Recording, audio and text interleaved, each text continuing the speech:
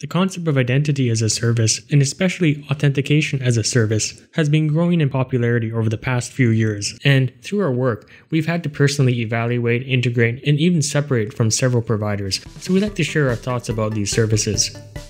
In our last video, we talked about when authentication providers work well, so in this video, we'd like to talk about some of the reasons why you may not want to use them. I'm only talking about the B2C use case, not the enterprise SSO solutions because most service providers price based on the number of users or API invocations. As the number of users in your application grow, you will incur a larger and larger cost. This might be acceptable if all your users are revenue generating, but can be a substantial problem if you support a number of free users on your system. Though smaller applications can take advantage of very good, even free tier introductory rates, applications with large user bases can easily run a bill into the tens of thousands of dollars per year. Another issue is that a small change in price can result in a significant increase in costs, and sometimes they only let you know at the time of contract renegotiation. Perhaps one of the most significant concerns using these services is the risk of vendor lock. Many of these service providers make it very easy to sign up and integrate because they're leveraging on the fact that once you have an established customer base, business teams will be reluctant to move off due to the potential for disruption during the transition process. Many service providers do not have an easy mechanism to export data in an automated manner, and in many cases, the changeover will not be transparent to your end users.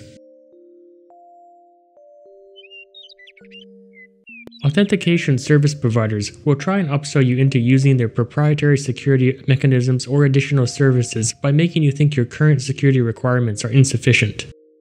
Upselling itself is not the problem, but being exposed to upselling strategies is a risk for overspending. These service providers make it very easy to integrate with MFA, social media, and other integrations that your application may not really need.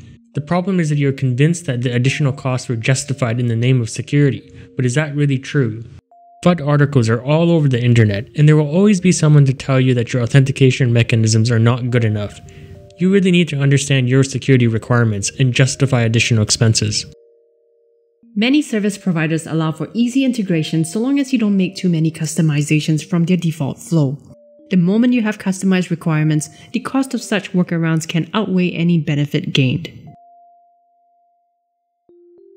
The ecosystem has changed over the past few years. There have been newcomers, mergers, and some have shut down. A vendor can decide to shut down, leaving you high and dry, and in the worst case, a sudden shutdown can result in no access to your data. API changes can cause your development team scrambling to make compatibility fixes.